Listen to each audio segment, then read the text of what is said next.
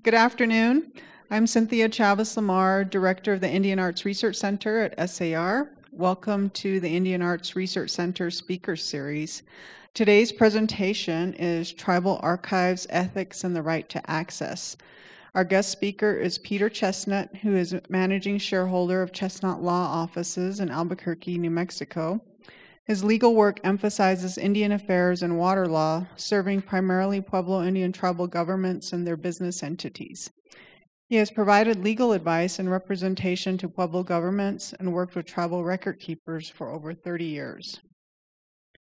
Chestnut has also worked with archivists at the Indian Pueblo Cultural Center to establish and maintain the archive of documents belonging to the four pueblos involved in the state of New Mexico versus Aamodt a leading Pueblo Indian water rights case. He has also addressed the Tribal Archives Institute, sponsored by the Western Archives Institute. Please welcome Peter Chestnut. Thank you. Um, good noon, everybody. Uh, uh, it's an honor to be here, and I appreciate being asked to speak. Uh, I feel uh, pretty humble in the face of uh, people who work with archives full time, because uh, I certainly don't. Um, as a practicing lawyer, uh, my work is, as uh, Cynthia said, with primarily with tribal governments, and so I've had a chance to work with records, and I'll be talking, trying to weave together some of my experience along with with some of the the research that I've done in preparation for the talk. I think uh, maybe I should start out by saying that maybe the title would be better Pueblo Tribal Archives Preserving the Past for the Future. That uh, in Pueblos, there is no right to access in terms of, of documents that the tribes have. That uh, if you can establish that there's a benefit to the tribe for why they should share their information with you, maybe they'll do it. But uh, uh, for those, it's, it's a cultural difference, and I'll talk about it more in the, in the course of our discussion.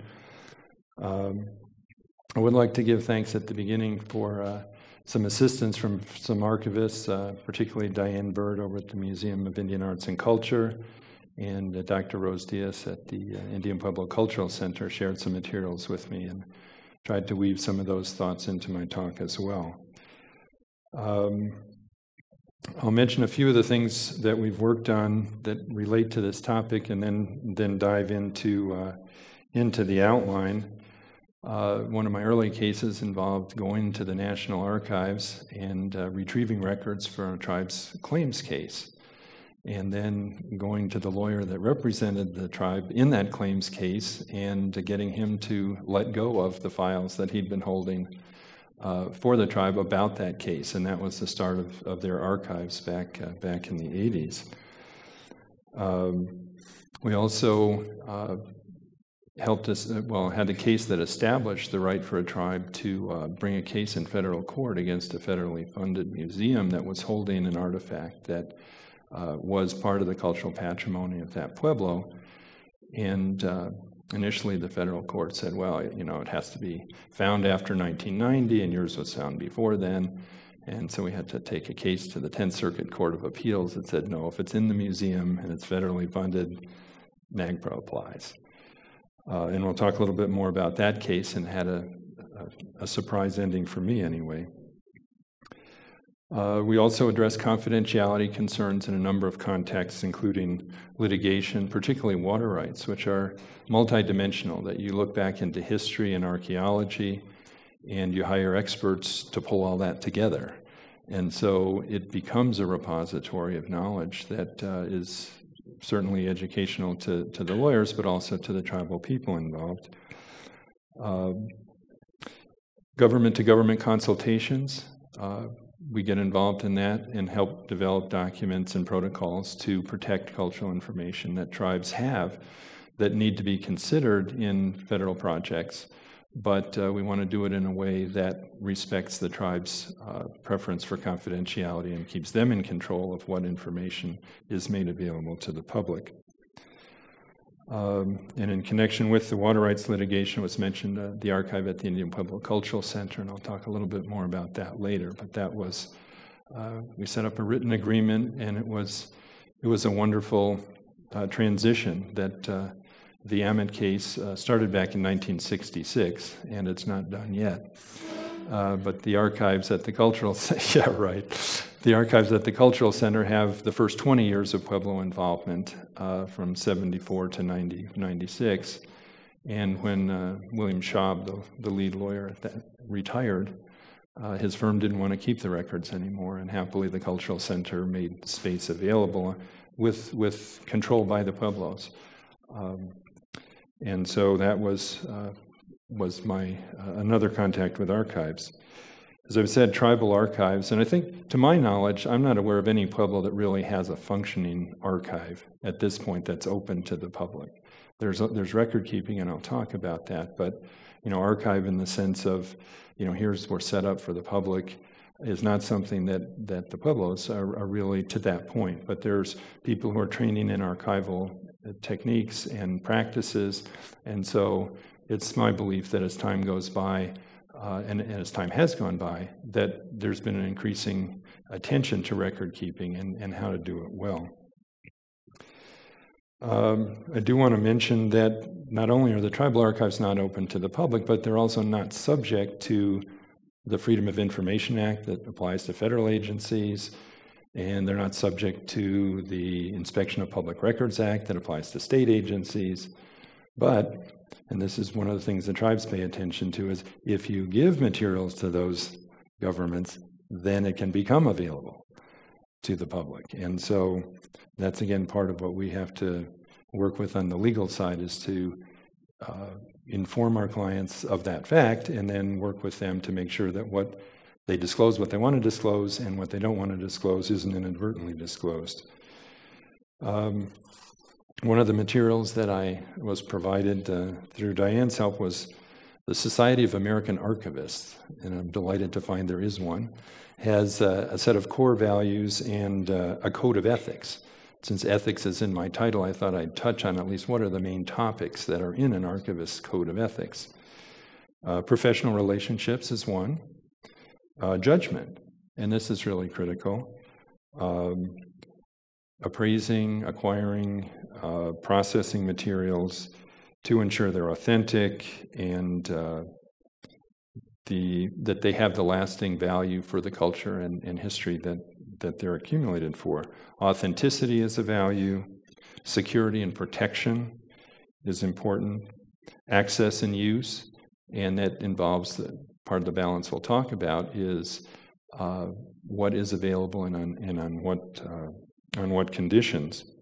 Uh, privacy, uh, and this is very important from the Pueblo standpoint, that uh, I, have come to feel that basically you get information on a need to know basis. And so, as records are accumulated, it's important that they be kept in ways that people who need to get access to them can, but that others, uh, uh, it's not just, just generally available to everyone. And trust.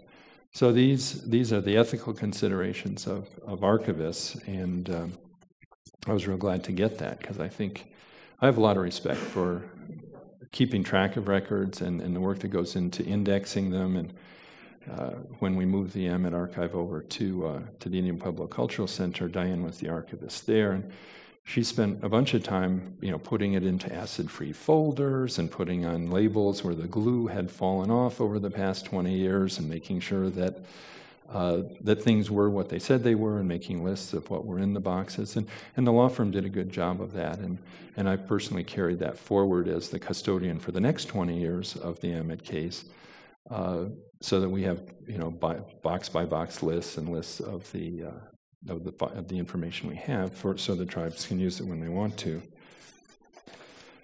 So, what is an archive? I went to the dictionary, and uh, the American Heritage Dictionary says it's a place or collection containing records, documents, or other materials of historical interest, or a repository for stored memories or information. And uh, Black's Law Dictionary has a definition of archive as well, and it says a place where public, historic, or institutional records are systematically preserved. Collected, preserved, public, historic, or institutional paper or, papers or records, and any systematic compilation of materials, especially writings, in physical or electronic form. And it's become clear that electronic form has grown, uh, certainly during my legal career. So the primary focus on tribal record keeping is the benefits to the tribe and its members. And the function of an archive can be in, in, in numerous places. As I say, that tribes don't have, you know, here is this archive building with an archivist sitting there to greet you when you walk in. Um, the one place that's closest to that is the Indian Pueblo Cultural Center, that, and they're upgrading their, their system there. It's really nice. But in, in a small pueblo, it could be in the governor's office, right? It could be his assistant is the one that keeps track of the resolutions that are passed by tribal council and the agreements that are signed on, after approval by council. Some tribes have a tribal administrator who's in charge of keeping track of the paperwork. Um, there can be a records person or a records manager whose job it is to to support tribal officials in keeping track of the records as a custodian and uh, handling active documents that are generated by or received by the tribal governments. And after enough years, they can become archival. Uh, some records are in accounting, right, for the financial and contract work. Uh, personnel and human resource files are kept usually in that area. And programs can be uh, repositories for records. Uh, one example that I had uh, got called in after a tribal audit was challenged, and I said, "Well, you didn't document your in-kind. Con- the auditor didn't find the in-kind contribution for this program, and so the leader said, "Well, do we have to pay back all the money?" And I said, "No. You just have to find records that showed that you did the in-kind work." And of course, nobody who was an officer then was an officer when the audit was done. But the program people had the records. And so they remembered and they invoked, it was, you know, parent in-kind contributions. Like the kid's now in fourth grade, what did you do in Head Start? But we were able to create the documents, pull them together, show them to the auditor who says, well, now that I've been educated, they did meet that requirement and the tribe didn't have to send back any money. And I was happy to, uh, to have been part of that effort because the initial thought was, oh, they're asking for it, we got to give it back. And I said, no, I don't think so if you can answer this question, then you don't have to give it back. And so, uh, the, what was someone called me the decentralized record keeping was called into play. and lo and behold, uh, records were found. Uh, another place where records are kept is in a museum or cultural center. And uh, the Pueblo of Acoma built a beautiful building, a real jewel, uh, the Sky City Museum, Sky City uh, Cultural Center and Haak'u Museum. And uh, I think they've got they've got a wonderful space that can serve the Pueblo for many many years to come. And there's space in there that's designed for water rights records. They've set up a room for that, and they have some underground rooms for uh, storage of, of, various objects. Uh, and there can be an archive, as I mentioned, at the Indian Pueblo Cultural Center, uh, which has private and public sections. The Aamodt records are not available to the public. They have to get approval from either a tribal leader or, or a lawyer to get into those records. Our thought is when the case is finished, now scheduled for 2017, on its 51st birthday, that um, you know maybe some of it will become open to the public at that time, or and we have made it available to other pueblos in their water rights cases to look at things like the Pueblo Lands Board. A great deal of work was done for that. And Spanish and Mexican times.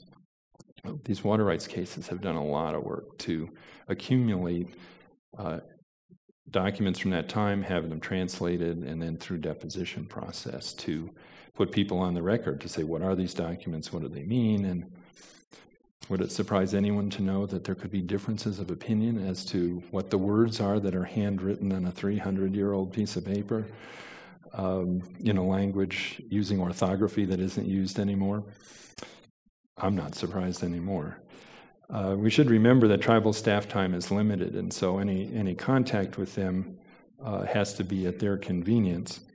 Uh, but I think, as I said, there's a real effort to develop some best practices and uh, and educate uh, the rising generation and, and record keepers into how to do that. So, a scope and a mission for the archive, what would that be? I think generally I'll talk about two kinds of materials special collections and institutional records. Uh, I think there can be artifacts that get returned, but we're not going to talk about that in terms of today. Um, tribal archives can have several purposes, including gaining some control over its material and history, intellectual property, and cultural rights. Um, Congress went so far as to pass a law saying that tribal seals are protected under copyright law so that people can't just photocopy some of these beautiful tribal seals and use it without the tribe's permission. Uh, preserving records of the past for the future use by future generations is what I think of as part of what an archive does.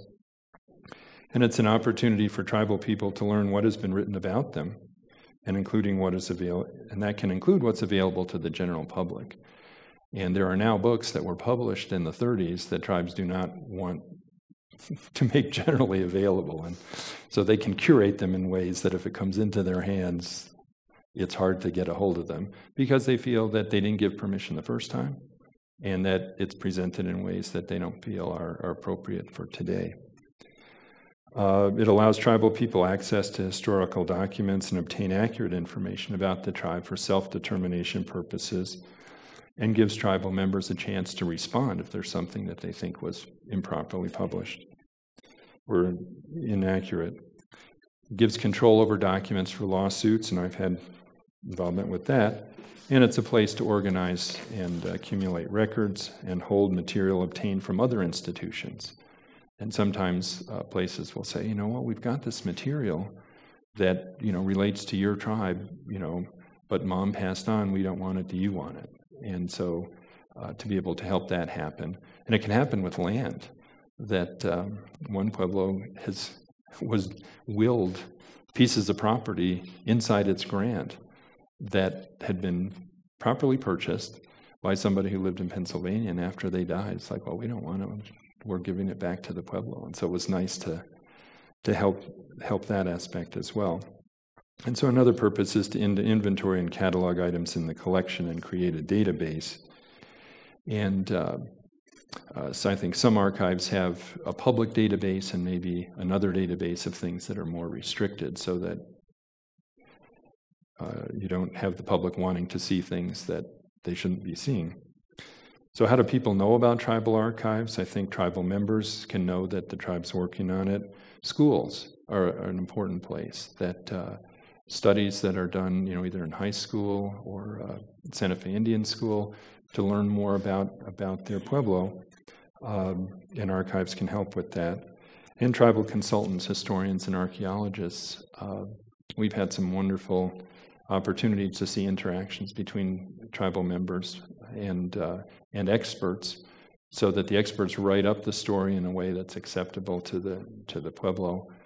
But the Pueblo people themselves are not subject to cross examination on their beliefs. And we think that's real important. And we had to, I'll talk a little bit further on about a case where we had to put record, put a deposition under seal because they started going, well, let's tell us about this activity and what does that mean and who does that? And it's like, we don't want to go there.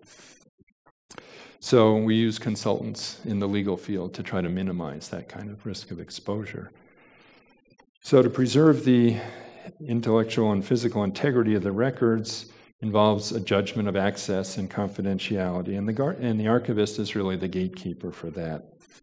And uh, so tribal archives can control access, and it's certainly uh, including protecting sensitive information.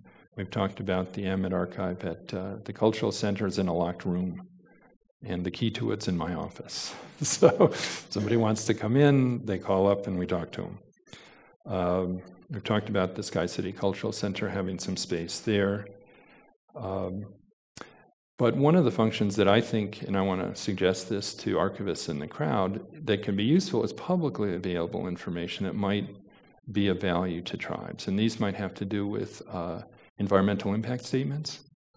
Uh, say that, well, we're involved in where somebody wants to mine uranium in a particular area. And so the federal agency has to look at the environmental impacts. And so when they do, they come up, they have a, a, scoping session, they have a draft report, and then they have a final report, and then a record of decision. And that record of decision and the final EIS are public documents. And so that and the administrative record for these processes can be a good source of information about lands or animals or plants that uh, and cultural resources that are important to tribal people. And so part of what I'd like to suggest is that even if tribal archivists can't necessarily disclose things that are confidential on the tribal side, to point people who are interested toward public information that may be of, of use and interest is, is something that I think would fit within the code of ethics of, of, an, of an archivist. Um, tribal audits, very hard to get if you go to the tribe, but if you go to the federalclearinghouse.gov, uh, they're public documents. And so, uh, again, for people who are interested in, in that, that's something that an archivist can point out, and I'm mentioning here. Court filings, things that are filed in court, are public records. And uh, the Aamodt case has over 8,000 documents. Uh, they number them consecutively now, and there's an electronic filing process. But uh, so that's a place to look. Um, and when there's trials, the, those exhibits uh, can be publicly available. It can take some work to get at them, but those are sources. The Federal Register publishes all kinds of things, and uh, sometimes notices, sometimes laws, tribal laws, that, uh, for example, if a tribe is going to sell liquor, they have to have a federally approved liquor law, and those get published in the Federal Register. And so uh, that's another source of information that an archivist might want to be aware of. Uh, these days, you can consider scanning uh, documents that are that are fragile as a way of making them available to people. But the heart of it is really balancing the interests of privacy and disclosure as part of the archivist's challenge. And so, developing a written policy on handling uh, privacy sensitive records is worthwhile. This will include developing a general screening policy and identifying existing collections which contain privacy sensitive material. Uh, there's a legal principle called prior publication, and that means if it's already been published, it's publicly available, then it's hard to say that it's private. However, um, tribes have uh, approached uh, archives and said, you know, even though you have this book that's that's been published and everything. There's pieces in there that aren't right, and we didn't get our approval, and we don't want you to uh, to share that. And uh, there are archives that uh, that have respected that, and I think that's part part of the balance. That uh, you know you don't want to share bad information, and you know if some outsider's writing a book saying, "Well, here's what I think." You know, during my six months or two weeks or whatever it was at this place, and here's my here's the story I think an archivist who says, I listen to people who lived there, whose grandparents lived there, they're still there, they're saying it's not right. Maybe that's not something that we want to, to amplify and pass on. Obviously, you don't want to do a lot of that, but I think for key for key pieces, it's it's uh, that respect is very important. Um, and archives have to respond appropriately to a series of, of dimensions cultural, social, and political environments in which you work and live. And that role involves both providing access and protecting the subjects of the records.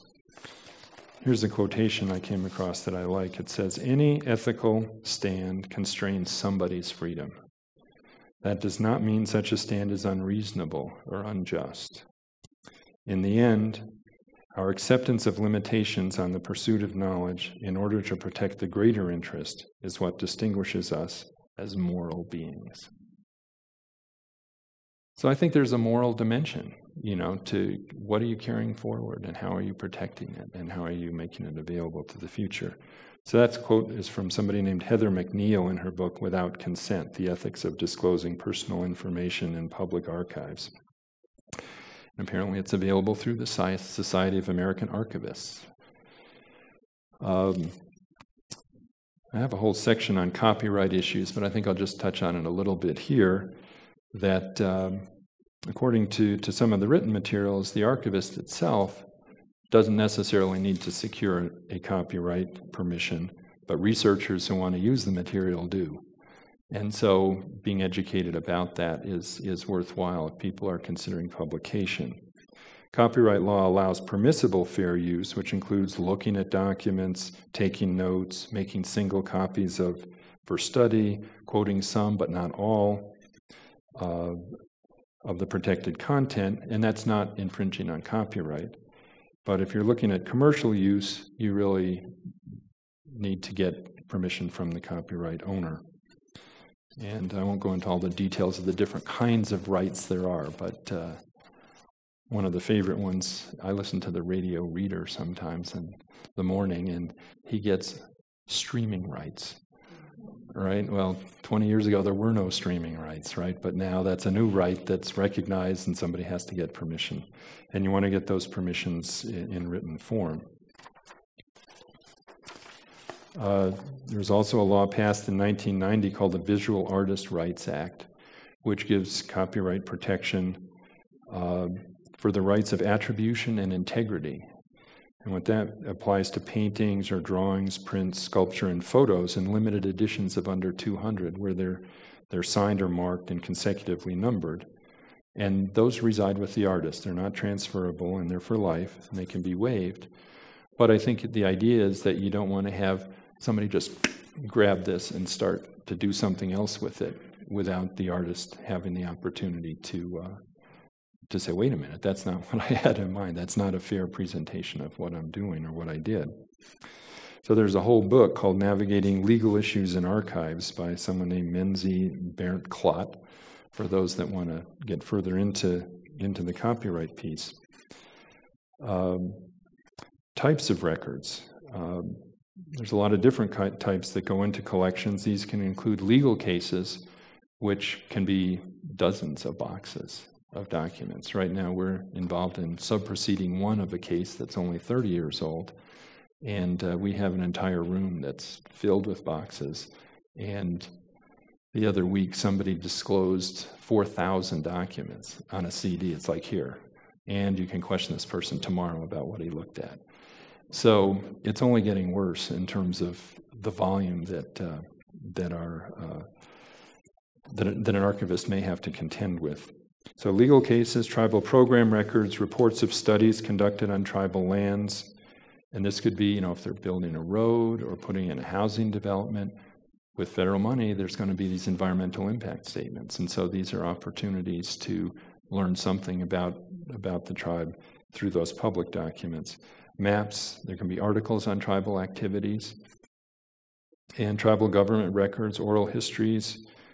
Uh, one Pueblo did a very beautiful thing. I thought that there was an archaeologist who'd worked with him when he was a graduate student back in the 50s on their claims case. And so he was getting very elderly, and so they wanted him on their water case, which didn't start till 30 years later. And so they got a younger archaeologist to interview the old guy. And then they hired a, a video recorder to tape the conversation and you know there was talk about what topics do we want to talk about. And so this was done with an idea that this would be preserved for uh, future use of pueblo members. Um, so archives can include cult- culturally sensitive materials which might be still or moving images photographs films graphic art recordings transcriptions or maps. Um, we've learned that maps get a lot of attention sometimes. And it's easy to forget, you know, from where we are in the 21st century that, you know, even back in the 19th century when the U.S. Army is coming out here for the first time, it's like, what are they seeing? How are they drawing the land? And part of what we found is they do a, some maps are fabulous and others really sketchy. Um, but they're bits of the past, and it's how it looked at the past. And, and so it's, it's important to keep track of those and, and know what you have there. There can also be records and documents, including books with personal or family information, archaeological data, religious materials, or ethnobotanical materials. There's, uh, there's a guy named Richard Ford, I think, who's written on ethnobotany of the Tewa lands. And to my mind, that's, that's real valuable because I think the Pueblo perspective has a lot of we're part of life in this area and what other life is in this area and how do we weave that together. Governance records are gener- generated by tribal governments or institutions uh, tribal council and administration. Uh, tribal law can make some documents public, but absent that, the uh, uh, I'd say the, the default is not. But there's one pueblo that recently passed a new governing agreement that said our tribal council agendas are public, our meetings are public, the minutes are public, the resolutions are public, and they keep a notebook out in the reception area for their members to, to see. So that's a tribal choice. Others, you can't get into the tribal council meeting until you're invited in, and you may sit and wait for hours. I've certainly had that experience. And they say, they're ready for you now, and bring you in. Uh, some pueblos compile written laws and update them from time to time, and we've been involved in that, and I'll quote from one a little bit later. We've talked about, mentioned financial and employment records and audits, and program deliverables that you could get a contract to produce uh, children's books. And uh, there have been times, you know, even tribal presses to, to print materials. And I think keeping track of those things is, is something that, that would be valuable in a tribal archive. Uh, legal material, uh, as I said, our office has been a de facto archive uh, for, for the clients that we represented for a long time. The litigation cases, the land and water, developed history, and transactions, land transactions, reacquiring land. Um, it's been one of the, the very nice things that's happened uh, is with the development of, of tribal uh, economics and the tribal economies, tribes have had money to actually reacquire some of their ancestral lands that were taken from them uh, in years past. And it was interesting for me to observe that the preference is to acquire lands that are right next to the lands they already control. So, you know, a developer might come in and say, Well, would you like to buy this property? And over by Coors and Corrales Road, it's a great opportunity. You could make a lot of money. It's like, we're not really interested. But this piece of grazing land that fills in a hole, you know, or the keyhole in, in some lands we already have, we're very interested in that. And so one tribe has bought enough land to more than double their land base and gotten out to their southern boundary that's like 50 miles from where, from where their uh, tribal headquarters are. But it was something that was very important for them, and we had the privilege of working to uh, make those transactions happen. Uh, let's see. Of course, attorney client communications privileged, and so that's uh, certainly not available during active uh, times. But when we did reacquire the uh, Indian Claims Commission records for this one Pueblo, we got the attorney notes. And I'm at a point in my career where I'm looking to see if tribes are interested in taking possession of all of the materials that I've developed on their behalf through the years. And uh, you got to just take the risk that you're not going to be horribly embarrassed or regret that the notes that you took at the time, you know, get looked at by somebody later. But uh, when I found it helpful to, to see those yellow yellow no, handwritten notes and sometimes it's pretty unclear what it means, but other times you get a you get a, a, shaft of insight that's very helpful for what you're doing, and it seems to me that's part of what researchers look for is you, how do you find the needles in the haystack? And so you got to have a haystack if you're going to find a needle inside it, and I, and so legal records can be part of that.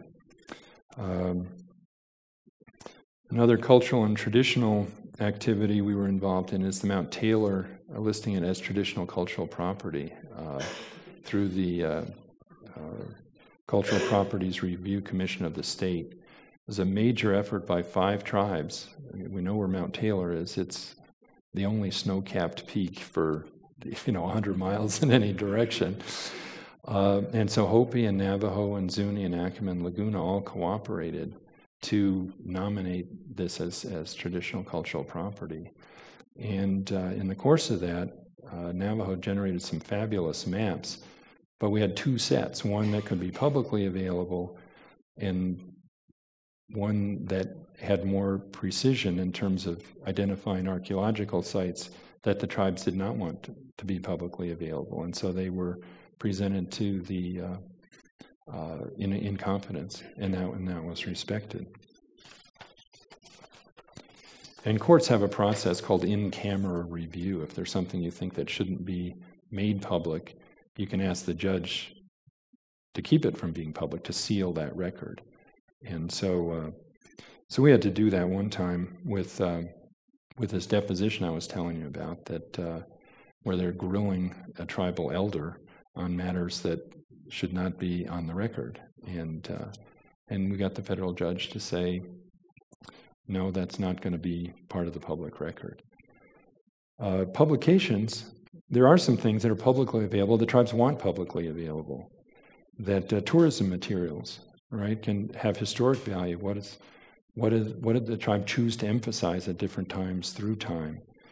Um, and Pueblo museums, uh, there's some beautiful, beautiful materials that are uh, that are uh, sometimes artifacts, sometimes they're writings. Uh, one I want to mention is there's a photo history of uh, Jemez Pueblo up at the Walatowa Visitor Center. And uh, this is something that the Pueblo did in cooperation with the Forest Service, and they co manage it. And there's a room that is filled with archaeological material, but also uh, a series of, uh, well, two, two different shows that have, were put together um, one that was based on uh, photographs from the 1930s, primarily, with a few from, from the Lummis area, era back in the turn of the, the last century, uh, with, with text.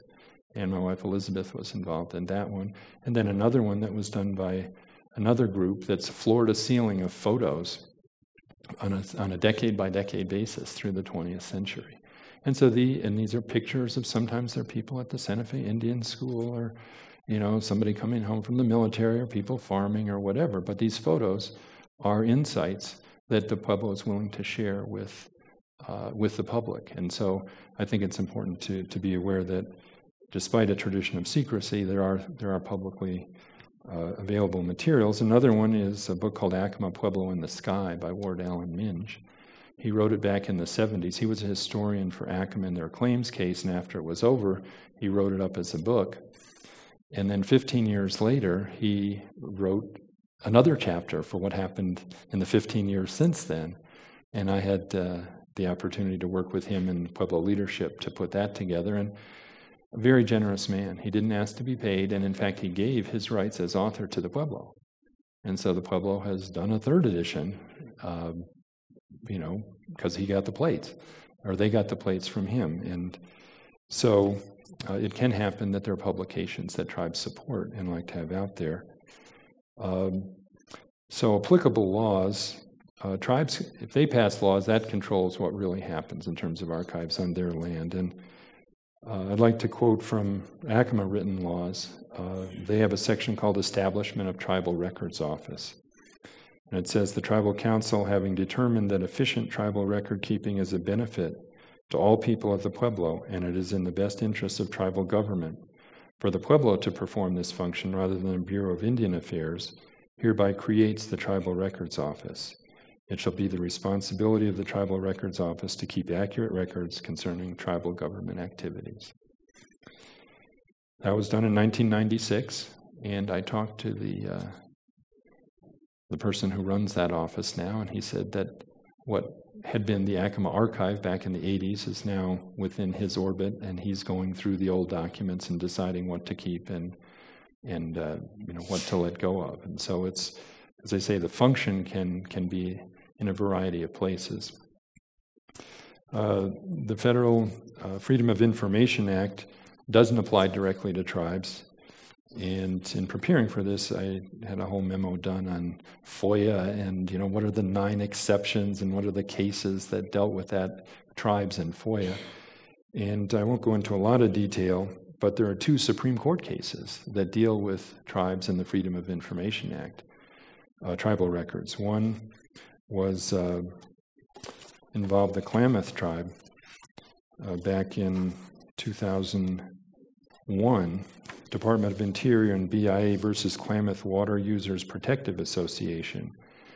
And the Supreme Court held there that where uh, the tribe and its consultants had shared litigation strategy in a water rights case with the Bureau of Indian Affairs as part of the government to government relationship and the trust responsibility, the Supreme Court said, well, that's not confidential. That can be disclosed to the other side in the water rights case. So that was a real setback. And it made, to my mind, just added another layer of caution to what you want to hand over to the United States government. You can talk to them and they can take notes, but do you really want to hand something over if in turn it's going to be disclosed to the other side in an active case, as it was there? And the Supreme Court said, well, the government can keep its consultants confidential because they don't they don't have an interest. They're just trying to get to the truth, but the tribe has an interest, and so therefore, you know, that's kind of destroys the rationale for keeping consultant records secret. I didn't find it particularly persuasive, but uh, I'm not on the Supreme Court. Uh, then in 2011, there was another case where the um, Jicarilla Apache Nation tried to get a hold of information about its trust accounts from the United States government. And the Supreme Court said, uh, no, you can't get all that you're going after. We passed, Congress passed a law called the American Indian Trust Fund Management Reform Act. If it says you get records, those are the records you get, and you don't get the other ones. So from a, a, tribal attorney standpoint, these are not happy cases, right? Because it's saying, well, if the tribe gives it, it can get turned over, but if the tribe wants to know what is the government doing with its own records, uh, it's harder to get at. And they, they had a rationale there. It's like, well, you know, you provided some of that, or they had to do it. But um, FOIA does not generally apply to what's in tribal control. And so it's just another reason to be careful about what you give to the government. Uh, another law that's important is the Native American Graves Protection and Repatriation Act, NAGPRA, passed in 1990. It applies in the United States, and I think I've been hearing a little bit about some Hopi masks that are trying to get sold in France or something like that. Well, NAGPRA doesn't reach over there. That jurisdiction only goes to the, the boundaries of the government that issues the law. And so, just like tribal laws pretty much apply inside tribal boundaries, U.S. laws apply within U.S. boundaries with exceptions that don't apply here. Um, so, NAGPRA uh, does create a cause of action for tribes in federal court. And importantly, it establishes community legal rights and protections for key types of cultural materials, including funerary objects, sacred objects, and cultural patrimony, as well as human remains and it determines that these are inalienable, they can't be sold. And they belong to the tribe, and it places the burden of proof on whoever has these items to show on institutions why should you hold this if the tribe says it's theirs? And so we've been involved in some repatriation efforts that we've. Uh, there was a criminal prosecution in Arizona where uh, some dealer had some materials that were taken uh, from a tribe, and we help prepare the tribal witness to be able to say, yeah, this was from our church and it was taken and it shouldn't have been taken and nobody is authorized to sell it. And that guy went to prison and the materials came back to the Pueblo. Um, uh, I mentioned one about the federally funded museum. There was a, a pottery that was two two pots, one on top of the other, and so and then was sealed in the middle, and they were from different eras according to the archaeologists. So there's like one from 1275 and another one's from you know 1400. They're sealed together, and inside is uh, a couple of, of feathers, uh, some eagle down, and uh, and some yucca that was woven into a into a strand. And uh, the individual found it and brought it to Los Alamos. And so Los Alamos drilled a hole in it uh, to see what was inside. And then they used neutron radiation to get a clearer picture than X rays. And then they put it on display in their museum for 11 years. And then the guy, the father of the guy who found it, said, Well, we want it back. And at that point, the Pueblo said, Wait a minute, that shouldn't belong to them. So we got the state court case dismissed. We went to federal court. And after we established that the court had jurisdiction, and then this discovery started, and uh, and the tribal leaders had an extraordinary meeting and said, We're not going any further with this. And they said, We got into this because we were protecting what the ancestors did. but this has taken on a life of its own.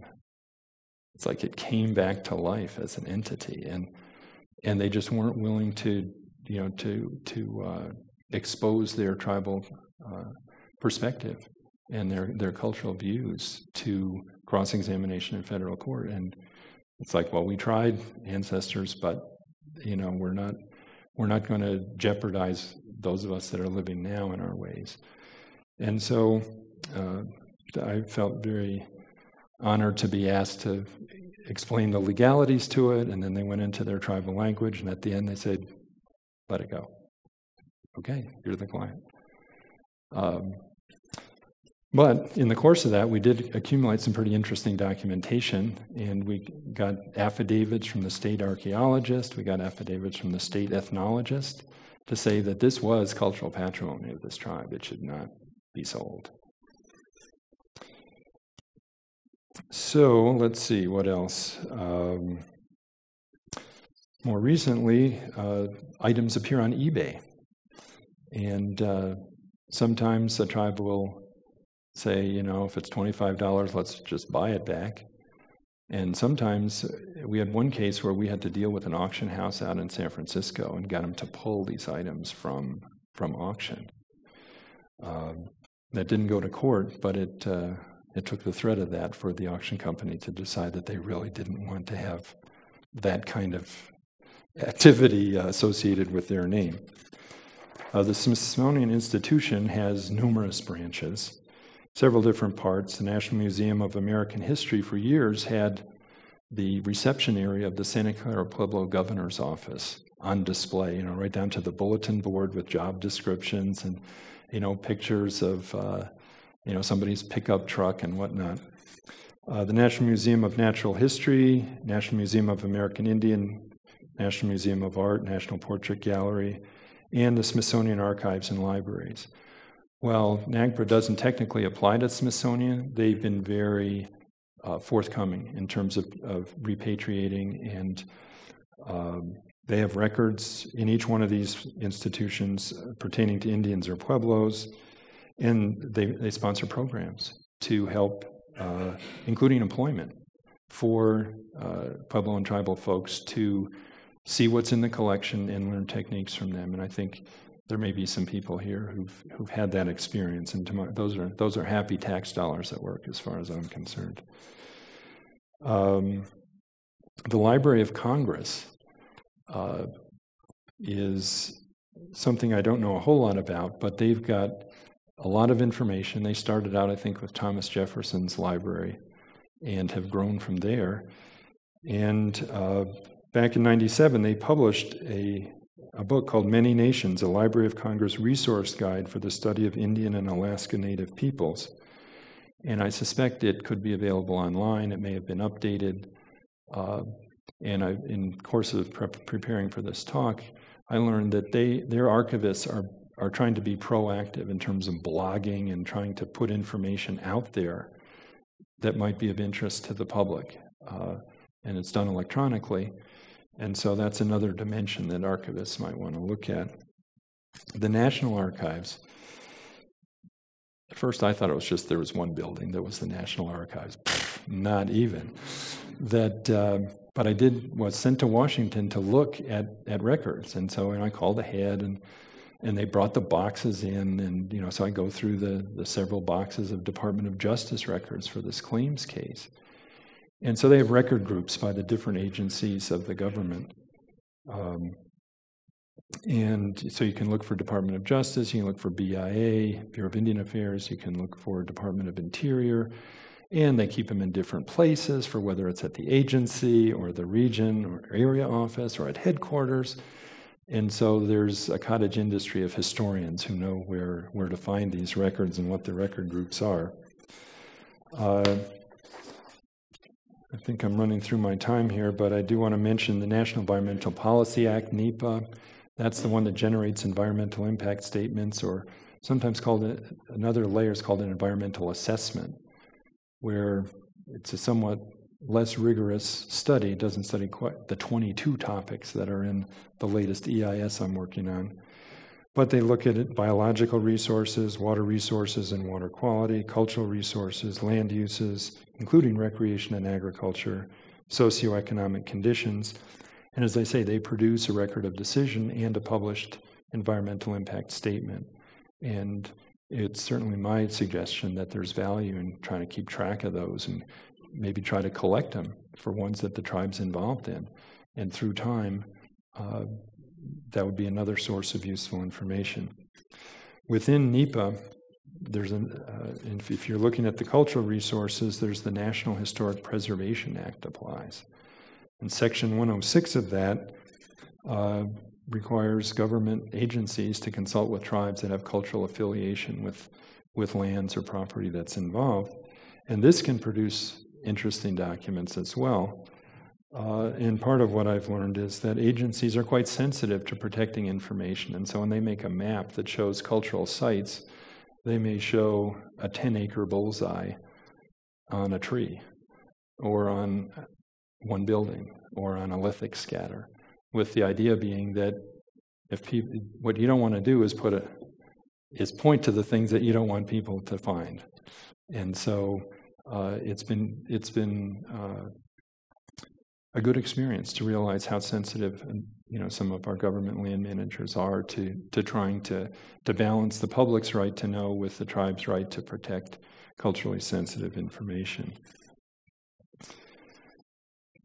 That's where I learned that the top of the Santa Fe ski area has numerous traditional cultural properties. And in fact, the Forest Service has an agreement with tribes that are affiliated with that part of the world that allow them to get an annual report on how's it going, and uh, they'll help the tribal folks get up there to check it out. And I went on one of those visits, and we get off the chairlift, and the tribal folks head off in various directions, and a while later they come back, and it's like, it's all good. Um, but the forest didn't feel the need to follow them. It's like, you know, it's, you, it's your culture, and uh, we're here to help try to protect it. Uh, intergovernmental agreements can come about. Uh, right now, one tribe's working with the Corps of Engineers, several tribes are, uh, pertaining to water resources, and, uh, and so documents can come from that. Department of Energy, Los Alamos is surrounded by four tribes that have accords with them, and so they've been brought into the decision making process, consultation process there. Um, uh, litigation records, I want to mention the Indian Claims Commission. UNM Library has a, a, a multi volume set of uh, rulings by the Indian Claims Commission from started in 1940s and it ended in 1978. The cases that it decided, uh, many of the records are there. The um, cases that weren't finished went over to a court, which was the claims court, then it became the Court of Claims, then it's now it's the U.S. Court of Federal Claims, same building, um, in Washington, D.C. Uh, let's see. And so cases can come out of that uh, that are published in, in federal re- recorders, and, and often the facts are, are recited there. In the Aamodt case, there's a 30 page opinion that was published in 1985, and it has a map that shows where's the basin, and it goes through the uh, the legal history of you know Spanish and Mexican as well as United States are, are rolled up into that opinion. So those can be sources of information as well. Um, so I think I'll uh, go to my conclusion now. so that maybe if there want to be a few questions, I'd be glad to to try and deal with those. It seems to me that the archivist ethics promote access to information, and Pueblo cultural traditions of secrecy uh, prevail with information available basically on a need to know basis. So the ethical archivist in Pueblo country is aware of cultural restrictions or consults with people who are aware of them. And she can also assist researchers by sharing knowledge of publicly available sources that might be relevant to their inquiry. So, with that, I'll conclude my talk here and express my appreciation for you all coming and hope you found uh, some useful information in this. Thank you.